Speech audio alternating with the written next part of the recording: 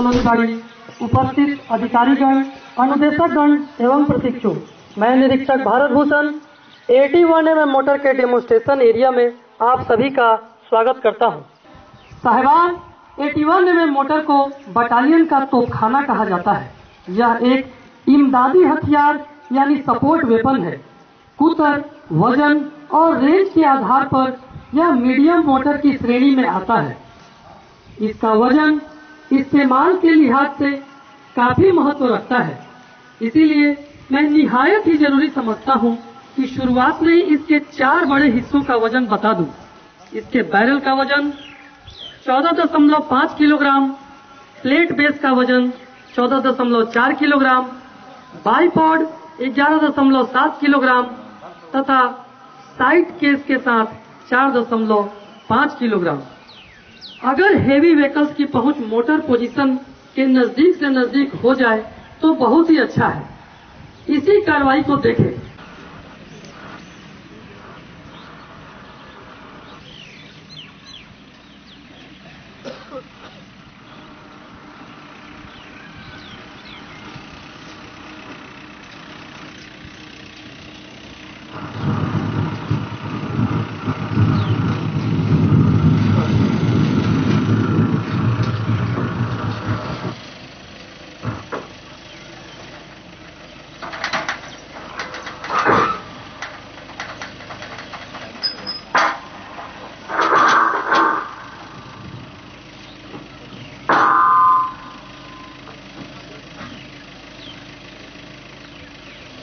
गाड़ियों से उतारकर मोटर प्लाटून के नुमाइंदे बड़े हिस्सों को इस प्रकार मोटर पोजीशन तक ले जाते हैं। इसी कार्रवाई को देखें।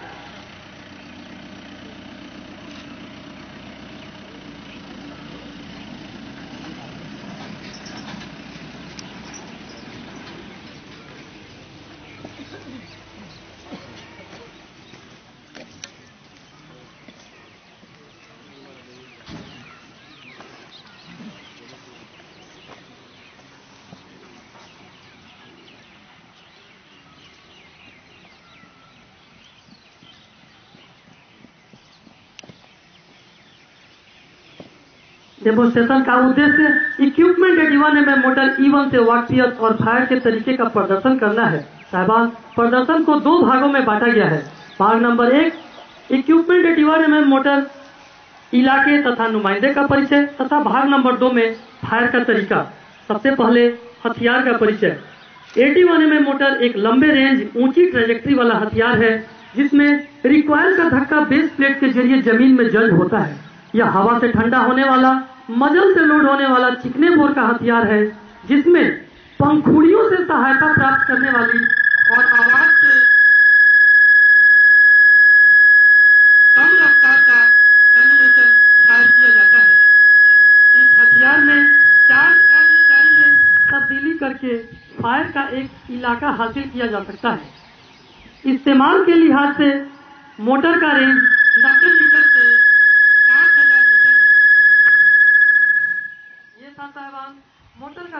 परिचय। अब इलाके का परिचय। ठीक ड्रिल सेट के सामने मोटर पोजीशन।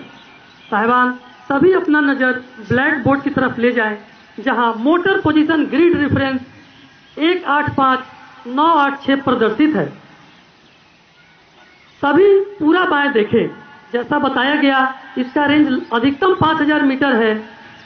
बाउंड्री के बाहर तीन किलोमीटर दूर दुश्मन की पोजीशन साहबान, मोटर पोजीशन हमेशा छुपाव में होना चाहिए। इसीलिए सभी अपने आधा बाएँ, एक पहाड़ का नमूना देखें, जो मोटर पोजीशन को छुपाव प्रदान कर रहा है। अब मोटर प्लाटून के नुमाइंदों का परिचय। मोटर प्लाटून में दो सेक्शन होते हैं, तथा प्रत्येक सेक्शन में दो मोटर इसीलिए एक प्लाटून में चार मोटर हो गए। लेकिन स्ट्रेंथ की कमी की वजह से यहाँ सिर्फ़ किसी एक सेक्शन के एक मोटर का ही प्रदर्शन दिखाया जाएगा। जिसमें महत्वपूर्ण है, सबसे पहले मोटर फायर कंट्रोलर साहबान एमएफसी यानी मोटर फायर कंट्रोलर दुश्मन के नज़दीक से नज़दीक ऑब्जर्वेशन पोस्ट पे होती है, जिसका यहाँ से देखना नामुमकिन है। सारे हुकुम वहीं से आते हैं। इसके बाद मोटर पोजीशन कंट्रोलर यानी एमपीसी और डेट साहब ऐसा गिरीश चंद्रमोहन मैं मोटर पोजिशन कंट्रोलर हूँ। मेरा काम वोटर फायर कंट्रोलर द्वारा दिए गए हुक्मों को वोटर नंबर को दिए जाने हुक्मों में तब्दीली करना। मेरे पास सामान मैप कंपास और प्रोडक्ट जज साहब constable G Ramesh Gedra technical havildar मेरा काम डाटा कैलकुलेट करने में एमपीसी को मदद करना मेरे पास सामान रेंज टेबल है रेंज साहब तालम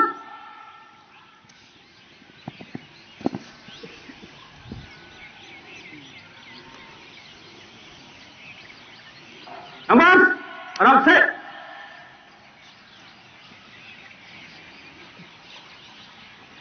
ये था साहबान एमपीसी का परिचय इसके बाद डेट्स का परिचय। हुसैन नंबर उतार जय सर मैं head constable E D Dinesh Singh. मेरे पास सामान 81 में mortar plate base one alpha side unit heavy case mortar 102 रेबोट जय सर। जय सर। मैं कांस्टेबल जनरल कृष्ण कुमार देव सिंह मैं 81 में मोटर कप रेम नंबर दो हूँ मेरे पास सामान एक ऑर्डिनेंस 81 में मोटर वन अल्फ़ा जैन साहब मैं constable G Priyas Pandey eighty बाने में मोटर डेट नंबर तीन हो मेरे पास सामान माउंटिंग एट्टी बाने में mortar one alpha bomb container दो नंबर आराम से साहबान, यहाँ भाग नंबर एक समाप्त होता है। अब भाग नंबर दो। आमतौर पर स्मॉल आर्म्स फायर के लिए जुड़ी हुई हालत में मिलते हैं, लेकिन 81 एम मोटर ठीक इसके विपरीत खुली हुई। सबसे पहले मोटर को मध्य लाइन की तरफ़ एमपीसी द्वारा जोड़ने का आदेश दिया जाता है। साहबान, मध्य लाइन वह काल्पनिक रेखा है जो दुश्मन को लगभग दो बराबर हिस्सों में बांटती है, लेकिन यह निहायत ही ज़रूरी है कि हर एक नंबर्स को हर नंबर का काम आना बहुत ही ज़रूरी है। अगर फायर करते समय कोई कैजुअलिटी हो जाने से एमपीसी द्वारा नंबर्स को आपस में बदली कर का हुक्म भी दिया जा सकता है। इसी कार्रवाई का नमूना देखें। नंबर निकल नंबर निकल निकल यहाँ हम लोगों ने देखा कि नंबर एक, नंबर तीन बन जाता है, नंबर तीन, नंबर दो बन जाता है, तथा नंबर दो, नंबर एक बन जाता है। इसके बाद एमपीसी द्वारा मोटर को मध्य लाइन पर ले करने का आदेश दिया जाता है। इसी कार्रवाई को देखें। नंबर डिस्प्लेन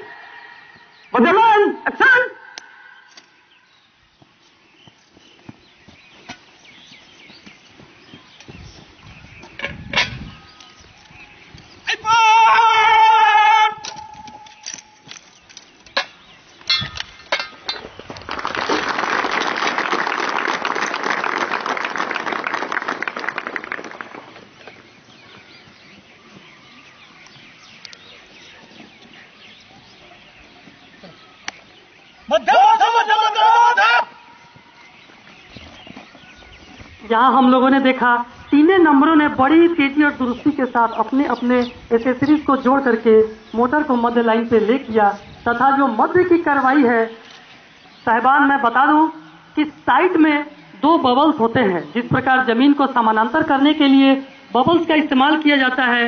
नंबर एक और नंबर दो ने मिलकर एलिवेटिंग गियर और क्रॉस लेवल की डिवाइस से दोनों बबल को आगे से पीछे तथा बाएँ से दाएँ ज़मीन के हेमवार बना दिया है। साहबान 81 mm मोटर की फायर एक जटिल प्रक्रिया है। इसके सारे नुमाइंदे मैप रीडिंग में माहिर होते हैं। आमतौर पर स्मॉल आर्म्स में जहाँ शिस्त ली जाती है, फायर का नतीजा वही हासिल होता है। लेकिन 81 mm मोटर में शिस्त कहीं और ली जाती है तथा फायर का नतीजा कहीं और हासिल किया जाता है। इसके बाद एमपीसी द्वारा सबसे पहले मध्य लाइन दर्ज करने का हुक्म दिया जाता है। इसी कार्रवाई को देखें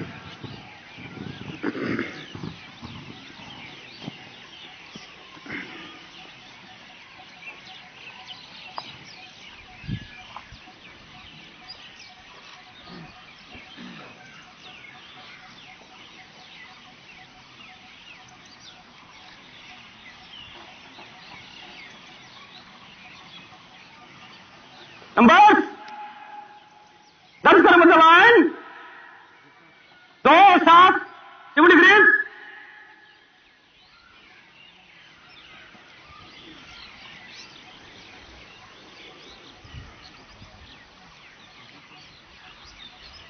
मध्य मध्य मध्य मध्य मध्य दर्ज किया मध्य लाइन। सात सिपर डिग्री साहिबान, हम लोगों ने देखा एमपीसी के आदेश को नंबर एक ने दोहराया तथा फिर से मोटर को ज़मीन के हेमवार बनाया। इसके बाद एमिंग पॉइंट का एक परिचय। साहिबान, मध्य लाइन दर्ज करने के बाद मोटर को एमिंग पॉइंट पर ले किया जाता है। एमिंग पॉइंट एमपीसी द्वारा चुना गया एक मदद का निशान है। जो लगभग मोटर के बाएँ लगभग 1500 मीटर तक हो सकती है। साहिबान, side heavy mortar case 102 bravo की देखने की शक्ति तीन गुना ज़्यादा होती है। मोटर को एमिंग पॉइंट पर ले करने के बाद एमिंग पॉइंट और मोटर में एक संबंध स्थापित हो जाता है। साहिबान, अभी के लिए एमिंग पॉइंट सभी अपने बाएँ देखें, लाल और सफ़ेद धारी का सफ़ेद पिकेट ट्रेनिस के सामने एसआईडी ट्रेनिस के सामने, लाल और सफ़ेद धारीदार पिकेट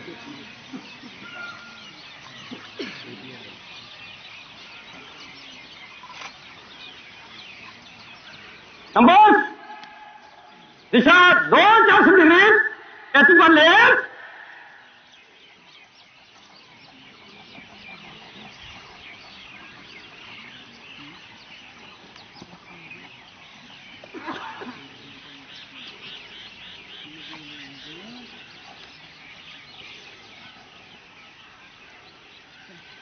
मध्य मध्य मध्य मध्य मध्य तीसरा एपी पर ले।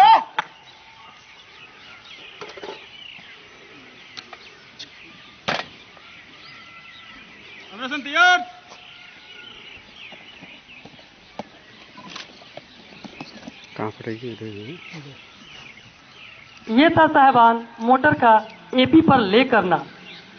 साहिबान फायर की कार्रवाई के पहले बेडिंग इनकी कार्रवाई की जाती है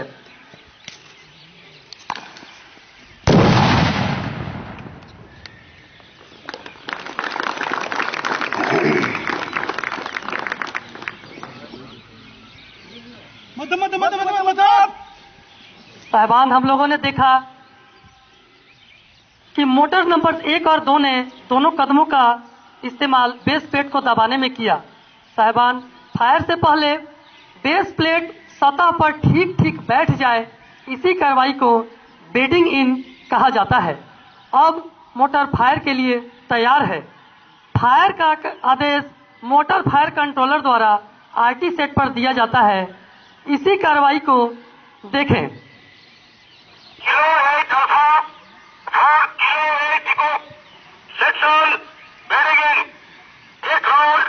Water. Fast. Kilo eight echo four kilo eight alpha section bedding and एक राउंड मोटर फायर बेट एमएफसी द्वारा बेडिंग इन की आदेश दिया गया एमपीसी द्वारा एमएफसी के हुक्म को मोटर नंबर्स द्वारा दिए गए हुक्मों में तब्दीली करते हुए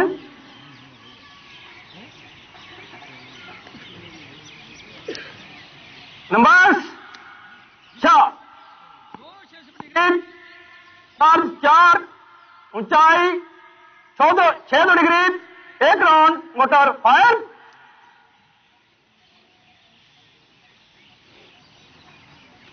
मध्यम मध्यम मध्यम मध्यम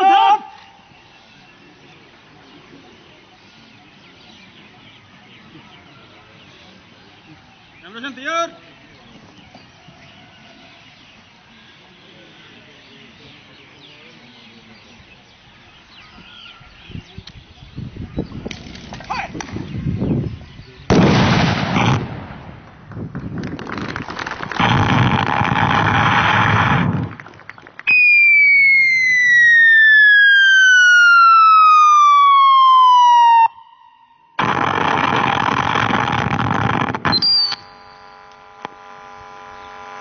ये था साहिबान बेडिंग इन।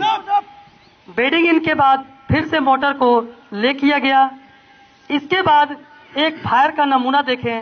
फायर के लिए मोटर फायर कंट्रोलर द्वारा आदेश दिया जाता है। इसी कार्रवाई को देखें.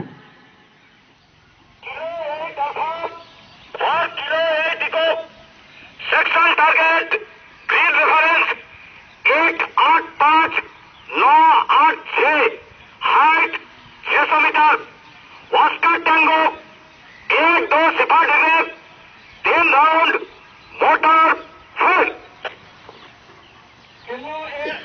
four kilo eight echo section target grid range एक और पाँच नौ और छह हाइट 600 मीटर अक्सर टेंगो एक दो सौ डिग्री तीन राउंड मोटर फायर बेड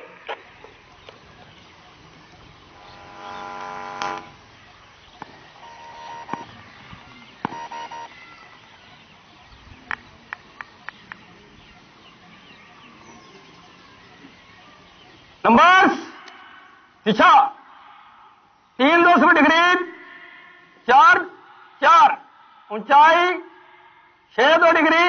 एक सुब्रमण्यन तीन रोड मोटर फायर। मध्यम मध्यम मध्यम मध्यम मध्यम। तैयार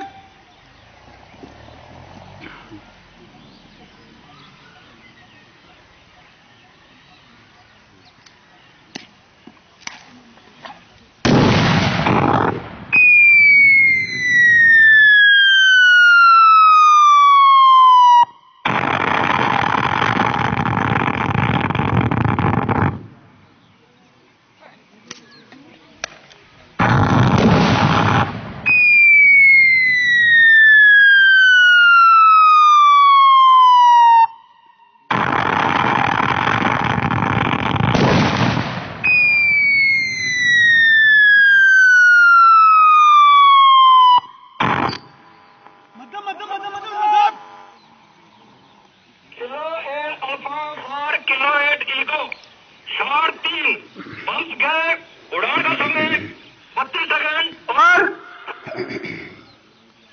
kilo eight alpha four kilo eight echo shot तीन पंप गए उड़ान का समय बत्तीस सेकंड एट यहाँ हम लोगों ने देखा एमपीसी और एमएफसी द्वारा कन्वर्सेशन का यकीन किया गया। इधर से तीनों बम्स गए की रिपोर्ट दी गई और उड़ान का समय 32 सेकंड बताया गया। साहिबान, बम अपनी वज़न से गुरुत्वाकर्षण के कारण बैरल में दाखिल होता है तथा फिक्स टाइम फायरिंग पिन होने के कारण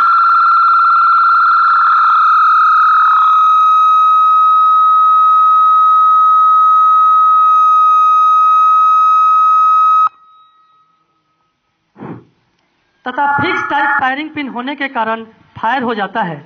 इसमें ट्रिगर ऑपरेशन की ज़रूरत नहीं होती है। 600 किलोग्राम प्रति सेंटीमीटर स्क्वायर के धक्के से बैरल पीछे की हरकत करता है। साहिबान, इसके मार का इलाका यानी किलिंग जोन साढ़े पाँच मीटर है डेंजर एरिया नब्बे मीटर तथा कौशन एरिया दो सौ तिहत्तर मीटर है। यहाँ हम लोगों ने देखा एमपीसी द्वारा मोटर नंबर्स को दिया जाने वाला हुक्म में चार्ज और ऊंचाई शामिल है।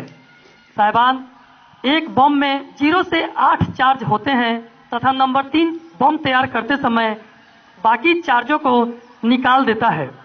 साहिबान दिशा चार्ज और ऊंचाई का आदान प्रदान करके दर्ज किए हुए टारगेट पर डाटा अप्लाई करके आसानी से फायर किया जा सकता है। यहाँ डेमोन्स्ट्रेशन समाप्त होता है तथा एमपीसी द्वारा मोटर को डिसमाउंट की कार्रवाई की जाती है। इसी कार्रवाई को देखें।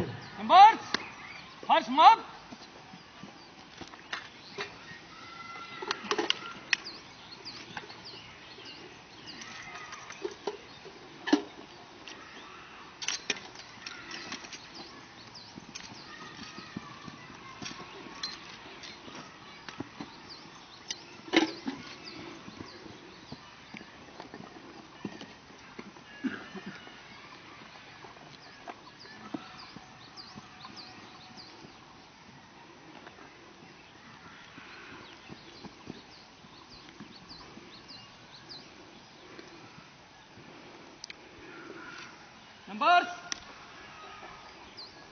nostan